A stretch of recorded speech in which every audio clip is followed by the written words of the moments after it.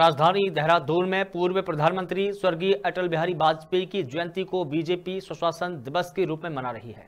BJP सुशासन दिवस के तहत प्रदेश मुख्यालय में गोष्ठी का आयोजन किया गया है। बताने की इस गोष्ठी में प्रदेश महामंत्री आदित्य कोठारी और सुशासन दिवस के प्रदेश संयोजक ज्योति प्रसाद गैरोला समेत तमाम विधायकों और पदाधिकारियों ने इसमें हिस्सा लिया है।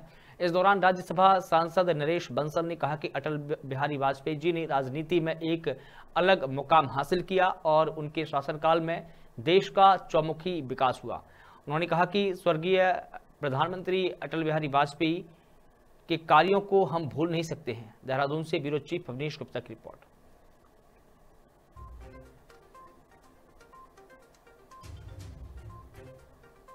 कि भारतीय जनता पार्टी के स्वर्गीय श्री अटल बिहारी वाजपेयी जी प्रेरणा स्रोत हैं और देश के अंदर सुशासन कैसा हो सकता है, इसका एक मॉडल उन्होंने रखा है। आज नरेंद्र मोदी जी की सरकार भी उसी मॉडल पर चल रही है, जिसमें सरकार के विकास की धुरी का केंद्र महिलाएँ युवा, गरीब और किसान, ये है। इन सब चीज़ों पर अटल जी ने उदाहरण रखे हैं। आपने देखा होगा कि अटल जी की सरकार में जिस प्रकार से किसानों के लिए काम हुआ, वो पहली सरकार थी अटल जी की